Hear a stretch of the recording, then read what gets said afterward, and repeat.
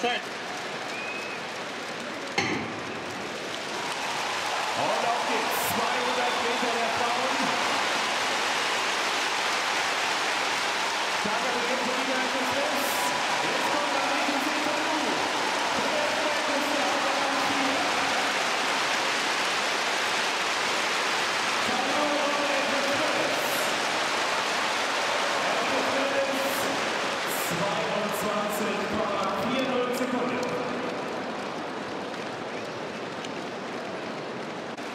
Sehen auf der Videotafel noch einmal den Zieleinlauf.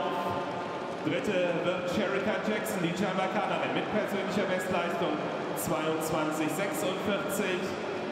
Und die 400 Meter Weltmeisterin mit Jahresbestleistung Phyllis Francis. Die Zeiten jetzt auch eingeblendet auf der Anzeigetafel.